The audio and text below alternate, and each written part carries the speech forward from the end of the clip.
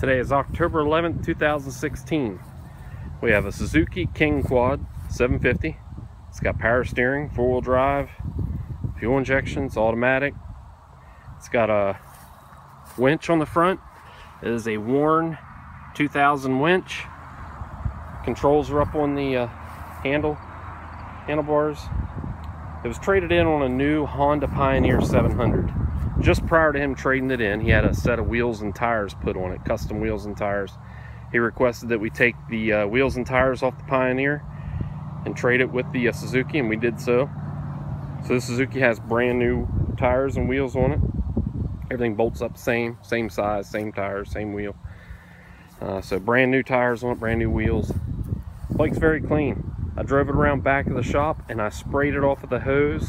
Didn't even use a pressure washer on it, just wiped it down didn't even wash it, just sprayed it off. Then I wiped it down, checked all the plastic. I don't see any damage on any plastic. Nothing broken, nothing scratched, nothing's torn up. Uh, it's got low miles on it, low hours. That's a total of 318 miles with 34 hours on it. It's got push four-wheel drive with differential lock. There's the uh, winch controls start.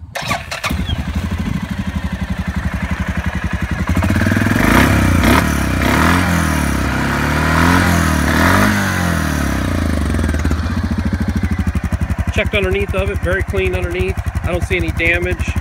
Nothing's been done to it. We haven't even run it through the shop yet, changed oil on it, we'll run it through. Suspension's all very clean. Been a well cared for bike. He bought it, then they decided to get a, uh, a five-seater Pioneer, so they got something that the whole family can ride. Traded it in on that, so it's great bike. Give us a call.